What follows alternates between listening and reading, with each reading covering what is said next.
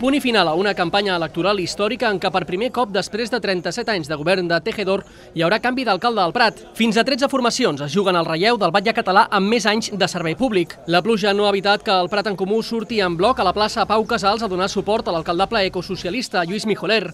El projecte de la coalició formada per Iniciativa als Verds i Esquerra Unida i Alternativa és el de continuar amb les polítiques desenvolupades durant els 10 mandats en democràcia. És un equip compacte, és un equip que continua, és una forma de fer política, és un projecte de ciutat que no volem canviar, que volem que continuï, que volem que eh, seguim governant com ho hem estat fent amb els últims 40 anys. La ciutadania ens ha donat la confiança i estem segurs que ens la tornarà a revalidar.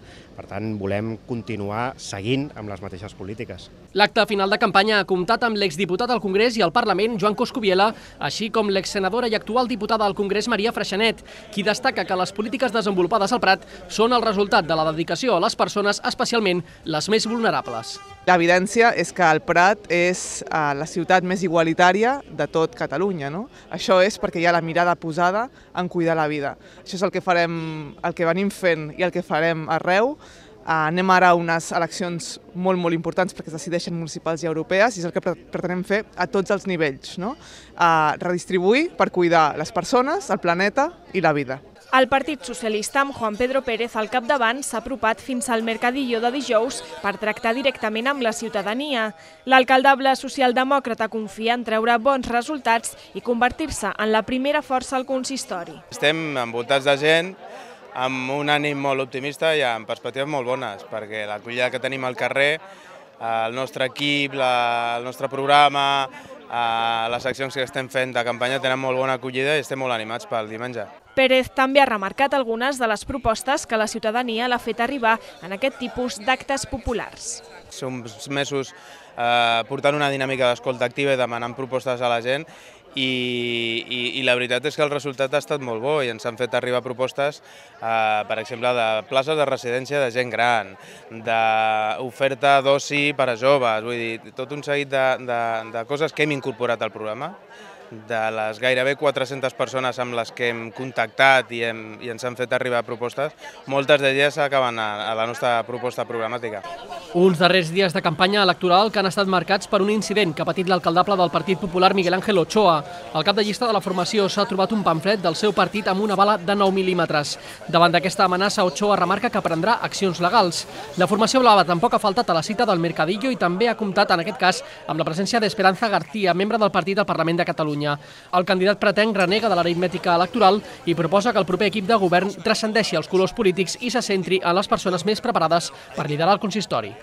Yo no quiero pactar con partidos, yo quiero pactar con personas. Y lo que propongo es pactar con los mejores de cada formación política, hacer un, un gobierno de meritocracia.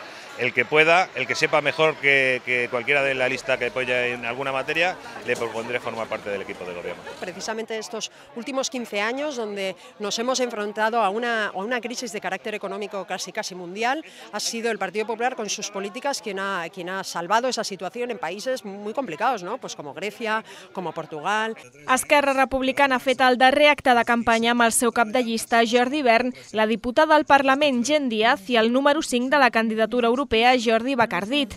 I Bern s'ha mostrat satisfet amb la campanya i ha posat èmfasi en la necessitat de treballar més a prop de la ciutadania. El que sí que tenim molt clar és que no permetrem un govern de dretes a l'Ajuntament. Nosaltres les pautes que hem de seguir per futurs pactes o futures converses seran el canvi de treballar amb la ciutadania. Hem de treballar molt a prop de la ciutadania.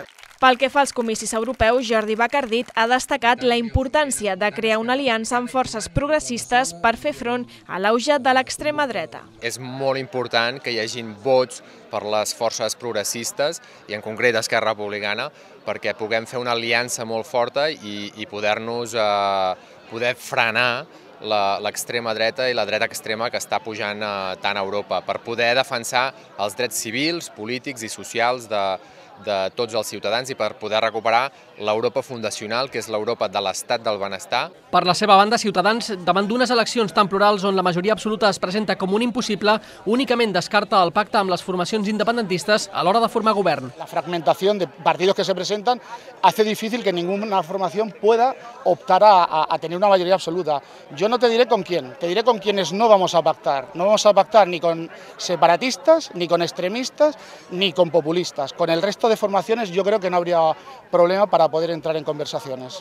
A més, la formació taronja ha comptat en aquesta darrera cita al Mercadillo amb la visita de Javier Nart, número 4 a les llistes europees de Ciutadans, que ha destacat la importància que té el Parlament Europeu. Vamos a ser el partido más importante en el grupo liberal en el que estamos y desde esa importancia vamos a protagonizar lo que significa el concuerdo y el acuerdo con los grupos fundamentales para impulsar Europa y frenar a separatistas y a populistas que lo único que pretenden es contemplar su propio ombligo y no solucionar el problema de, la, de todos los demás. Junts pel Prat encara la recta final de la campanya amb una carpa a l'Avinguda Verge de Montserrat. La formació independentista ha dut a terme diverses presentacions porta a porta del seu programa per apropar-lo a la ciutadania. La llista encapçalada per Gerard Valverde defensa el vot unitari tant al Prat com a Europa.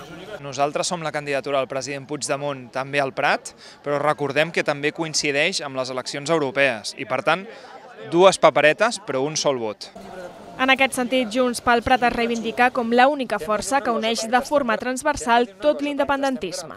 Necessitem unitat, la unitat la representem nosaltres amb la nostra candidatura i, a més a més, amb la papereta d'Europa. De, de, ja sabem que qui té més força internacionalment, crec jo, que és el nostre president, que és, a més, el president escollit per, per tots nosaltres. Mm? I hem de, fer, hem de fer costat a tot això perquè la base sigui cada vegada no més àmplia, sinó més forta. Per la seva banda, Podemos arriba al termini de la campanya amb la presència de l'exsecretari del partit a nivell estatal, Ramon Espinar.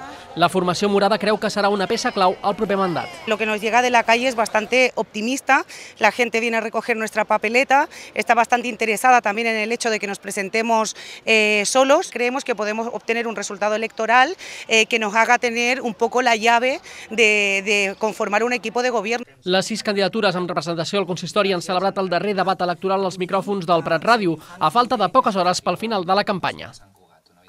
La, la, infant, la infantesa, els nanos, els nens i les nenes, aquestes situacions de manera individualitzada, perquè pensem